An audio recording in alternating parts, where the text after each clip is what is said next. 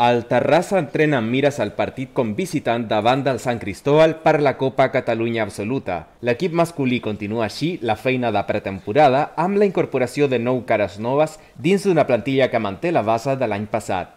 L'11 titular dels vermells encara no s'ha definit.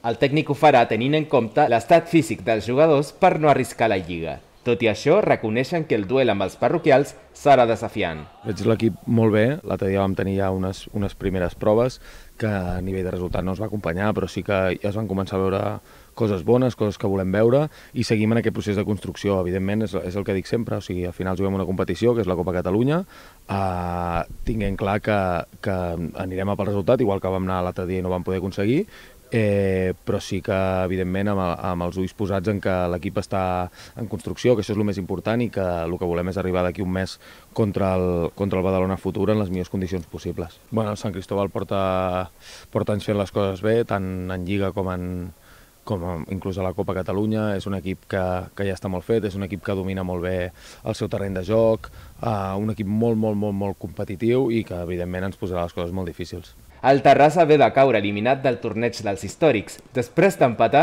amb el Sant Andreu i perdre per la mínima davant la muntanyesa.